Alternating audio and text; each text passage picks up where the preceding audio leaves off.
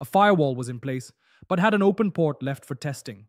Months later, an attacker found it and used it to move laterally. The lesson technology is only as strong as its configuration. Another case involved antivirus software that had not updated in over three months. A ransomware variant slipped through undetected. ISO 27001 reminds us that installing a tool isn't enough.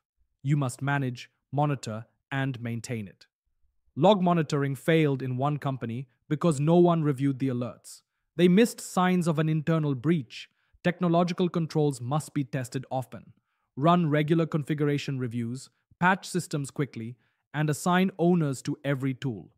Automate updates where possible. The most common failure isn't in the tool, it's in the assumption it's working as intended. Trust, but verify. When tools work together with people and process, technology becomes a true defense.